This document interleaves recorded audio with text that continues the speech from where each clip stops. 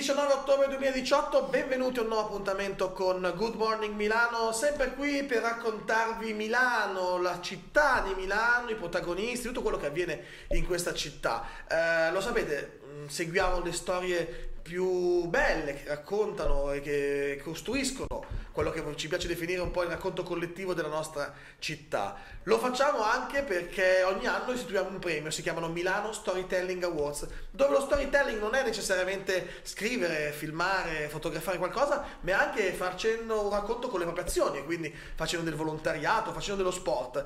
Avete già votato nella prima fase chi secondo voi doveva entrare nelle nomination delle nove categorie dei Milano Storytelling Awards e i voti sono adesso di nuovo riaperti quindi potete votare, potete votare i vostri preferiti e decidere chi vincerà i Milano Storytelling Awards di quest'anno. Chi sono i nominati e quali sono le categorie lo vediamo subito.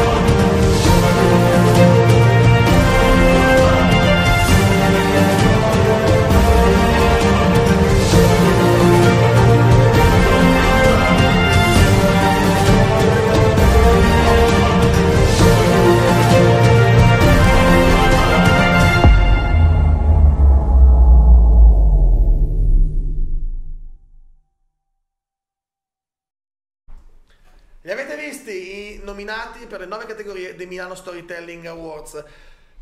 Senza pensarci, in realtà per fuori onda non ci avevamo pensato che insomma il gancio era facile. Parliamo di storytelling, parliamo di raccontare delle storie e c'è una storia molto interessante, molto bella di un artista internazionale che insomma ha fatto la storia della musica che si chiama Amy Winehouse. Eh, che ha una bellissima storia e qualche nostro amico, diciamo, ha pensato bene di scrivere un bel racconto, o meglio, di scrivere un concerto, uno spettacolo, anzi lo chiediamo direttamente a lui. Sto parlando di Attilio Bergamino, direttore dell'Accademia Poeti Erranti, buongiorno Attilio, Buongiorno. e di Lara Morandotti, giornalista che insieme ad Attilio appunto avete scritto questo che è, come si può definire, uno spettacolo, un, un concerto raccontato, che cos'è? È un concerto spettacolo Ok, eh, dove c'è la parte musicale e c'è una parte invece che a spot raccontiamo la vita di, di Amy Winehouse e poi raccontiamo anche diciamo così, l'aspetto emozionale riguardante la sua vita e da questo punto di vista ci penserà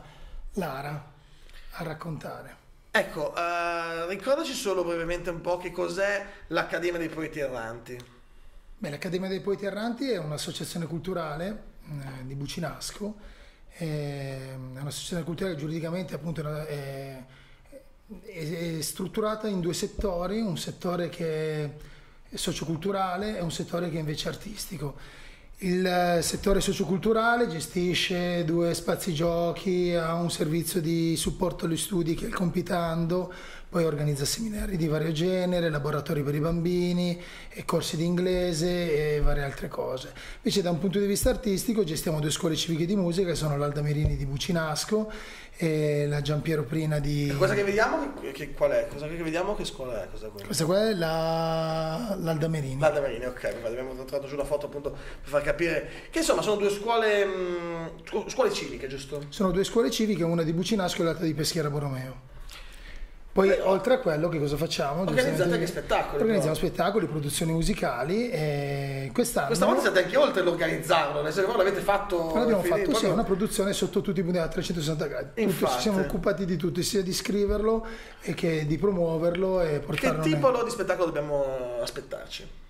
È uno spettacolo che all'in- ha la, la volontà di emozionare, raccontando la storia di questa incredibile artista, perché è stata davvero un, un artista straordinaria sotto tutti i punti di vista, sia da un punto di vista musicale, ma anche per la sua vita, perché è stata una vita fatta di eccessi e di contrasti molto spiccati.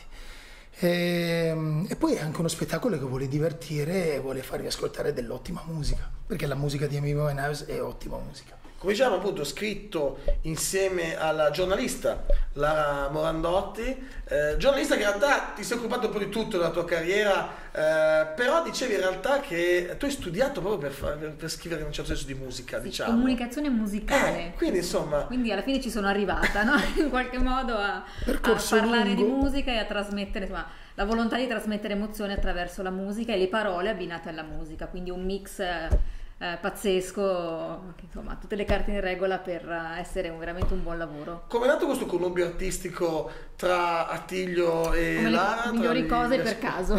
Ah, vedi? Ci siamo scontrati in un corridoio e abbiamo detto ah, ciao. E come mai appunto Amy Winehouse?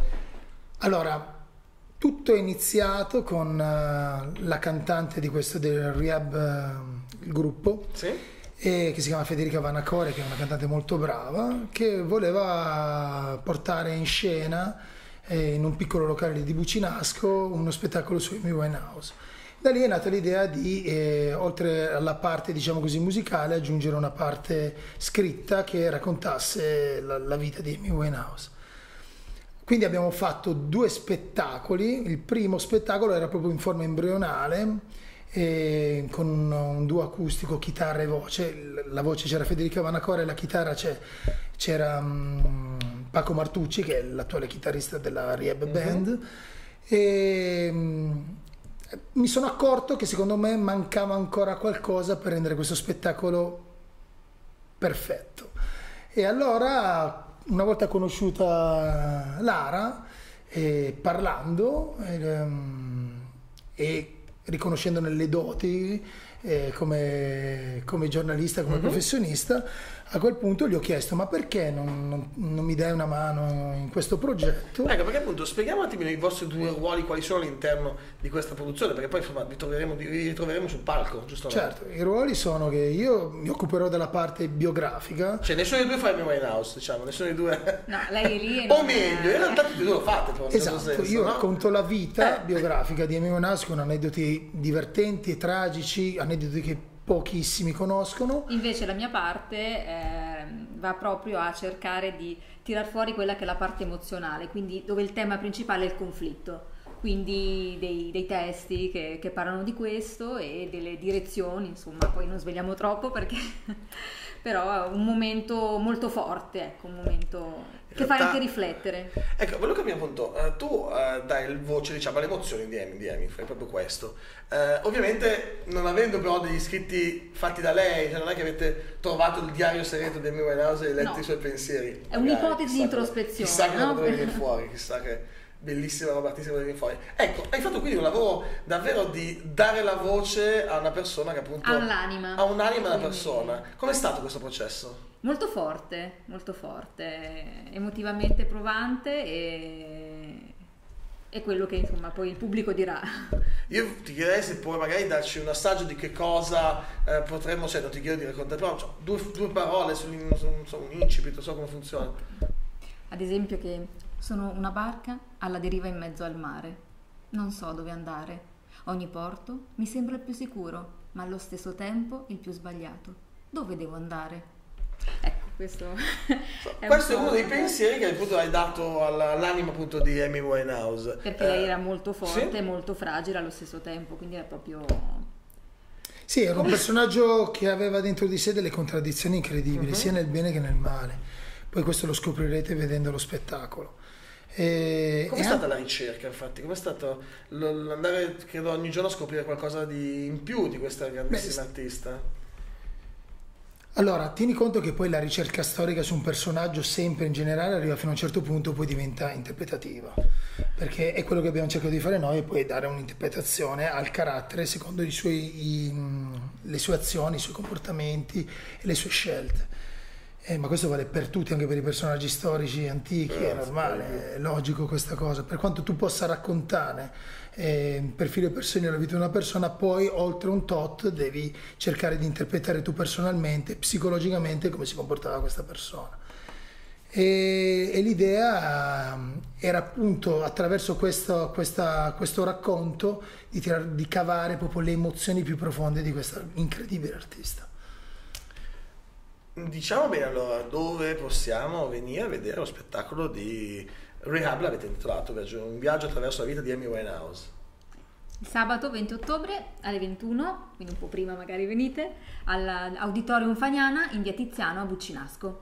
Il concerto è gratuito, ecco. quindi avete la possibilità di ascoltare questo, questo spettacolo gratuitamente. È una bella occasione. Direi seguire il consiglio che diceva appunto Lara di andare un po' prima perché non si trova posto dopo. Cioè, eh, sì. certo, quindi è, bisogna... sempre così, qui è, è una bella occasione. Le, poche, le volte che sono stato a vedere dei concerti organizzati da voi all'auditorium è una roba veramente da curva sud dello stadio. Cioè... Sì sì, sempre sì, il pienone riuscite a sì, fare. Sì, noi abbiamo fatto sold out tutte le date, speriamo di fare anche questa volta, però sai, quando si organizzano spettacoli non si sa mai come possono andare Dopo, le cose. Un po' di scaramanzia ci vuole, esatto. quindi insomma fa, fai benissimo. Eh, ricordaci Attilio anche magari eh, la band, insomma la band che avete eh, messo in piedi, una band che fa appunto, l'avete chiamata la Rehab Band. Rehab Band. Okay. Quindi abbiamo cercato di creare una situazione musicale molto simile a quella che aveva Amy Winehouse. Okay.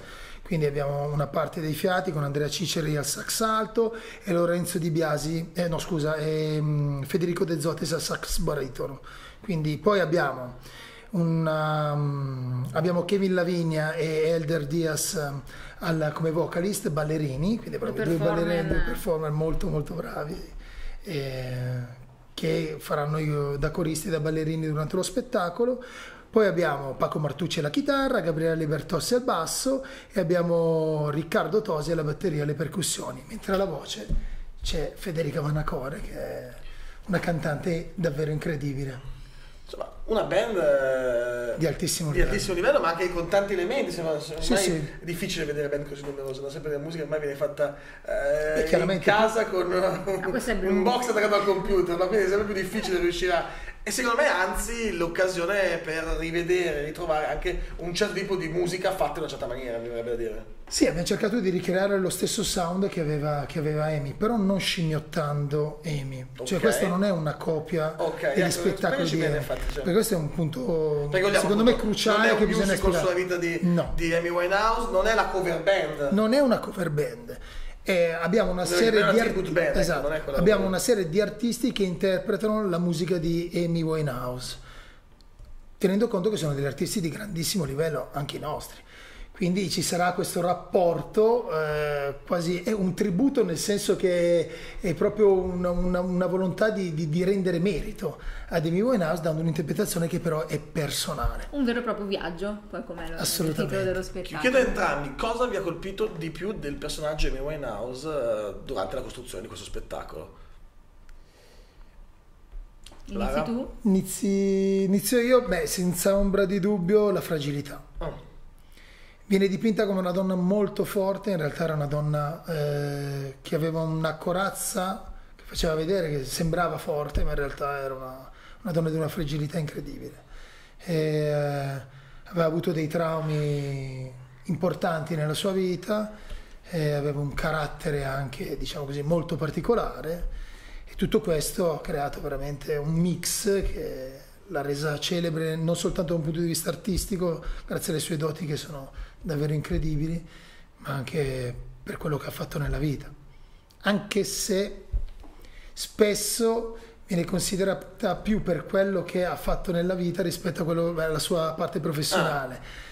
Cosa che è sbagliatissima perché lei ha fatto, è vero che fatto... la parte di personaggio mediatico, di personaggio mediatico, famoso, eh, offusca in realtà quella della grande artista, della grande cantante un pochettino sì, mm, non, cioè, gli dà merito, fino, esatto, non gli dà merito fino in fondo perché è vero che lei ha fatto solo due album ma ha fatto due grandissimi album cioè sotto un punto di, vista musicale cosa pensarci che ha fatto solo due album e ne stiamo parlando da tantissimi esatto. anni e ne parleremo questo, e questo vi fa capire eh, la grandezza dell'artista infatti arriva il fatto wow. che la capacità di graffiare con la sua voce di arrivare in fondo al cuore con la sua voce ecco questo è la sua, la sua personalità da cantante, proprio da...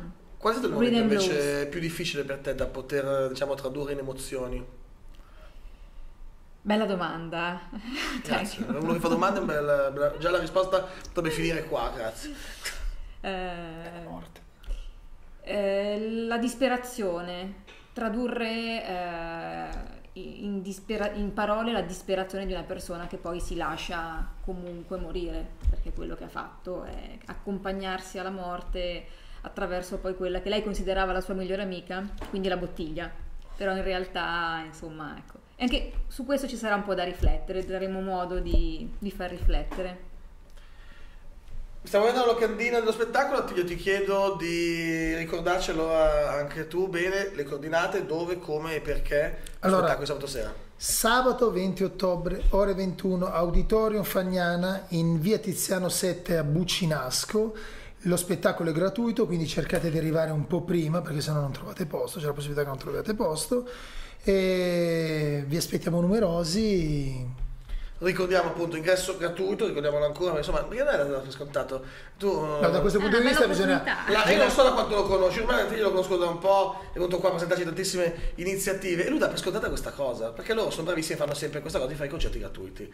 A quello che dico sempre che non sono tutti bravi come l'Accademia dei Poeti Erranti che riesce a fare questa cosa e molto probabilmente anche grazie al comune che è riuscito a mettere in tutta questa cosa, ma non sono tutti così bravi, quindi non datelo per scontato, nel senso no, no. Perché la cultura si paga caro Infatti, prezzo, la cultura no? ormai è Emozionarsi non è eh, infatti, quasi mai questo è un po' il motto della nostra la... associazione, perché è quello di offrire servizi socialmente utili ed economicamente accessibili. Questo eh lo sì, facciamo in tutti i settori. Una, sempre più una questione di, nu- di nicchia. Quindi, quindi... Grazie alle iniziative come questa, invece, eh, dove si porta sicuramente bella musica fatta da gente brava e una storia comunque che può essere anche di ispirazione per altri, perché comunque... Un sabato sera eh, che fa emozionare, riflettere infatti, e divertire. Infatti, quindi... Insomma, perché faremo anche vede, divertire. Si vede eh? che fa la giornalista, insomma, vedete com'è brava a darvi le motivazioni giuste per andare sabato sera all'Auditorio Fagnana di Bucinasco a seguire e a vedere lo spettacolo Rehab. Um, siamo quasi in chiusura.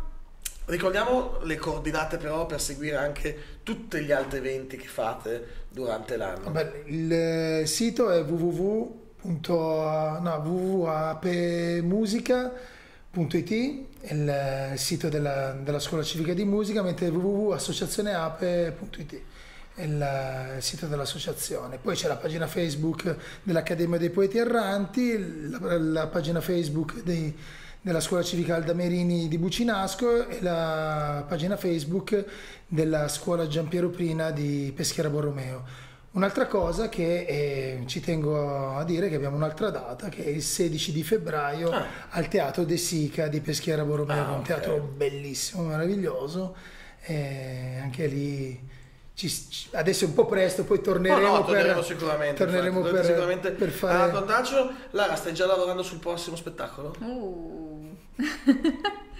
ah, non si svelano no. queste cose. Eh. No, eh, volevo, no, in realtà era per dirvi fatelo perché secondo me ce n'è bisogno. Grazie dire. Secondo me davvero vedo già sulla fiducia, ve lo dico, ma perché so quali sono gli elementi in campo, insomma, quando gli elementi sono buoni l'addizione funziona bene, la somma, la ricetta, quando gli ingredienti sono buoni la ricetta viene bene, no? Quindi, quindi gli ingredienti, gli ingredienti non mancano, grazie mille per l'invito, non mancheremo e davvero allora ci vedremo sabato sera il, alle 21 all'Auditorium Fagnana di Bucinasco con lo spettacolo Rehab, vediamo per l'ultima volta la locandina, Cristina se ce l'hai al volo, grazie mille, eccola qua, la locandina di Rehab 20 ottobre alle ore 21, vi ricordo andate un po' prima perché l'ingresso è gratuito, quindi ci sarà da veramente eh, sgomitare per trovare posti. Tanto, Speriamo. Tanto si sto, tanto non vi dico a Tiglio cosa fa, tutti gli scongiuri possibili e immaginabili perché giustamente eh, un po' di sana self control.